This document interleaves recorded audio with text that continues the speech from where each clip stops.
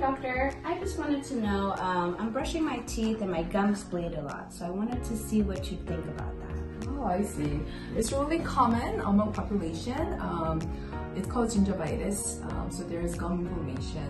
As you can see in this picture, see how your gum is reddish color around the tooth structure and then it indicates the gum inflammation. This is the area that causing uh, your gum to bleed. Um, if you see in this area, see how tight and pink on the gum color wise mm -hmm. and then this is the color that we want to achieve around the tooth structure.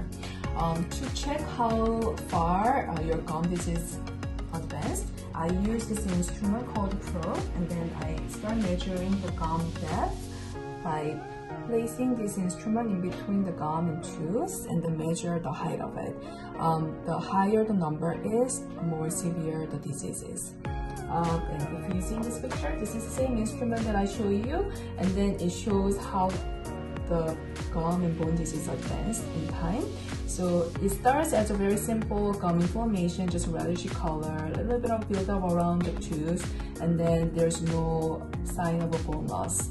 Um, this, this type, you know, we can treat by doing a simple cleaning, uh, scaling in the dental office.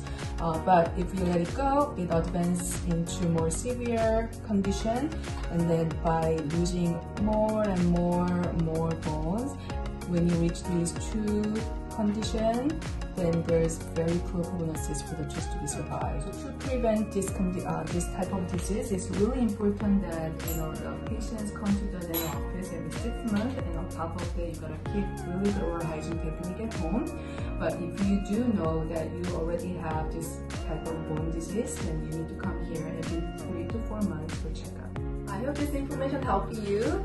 Hi, Blessed Smile family and friends. Uh, if you have any similar condition or similar concern, uh, please give us a call um, and please visit our website www.blessedsmiledentistry.com.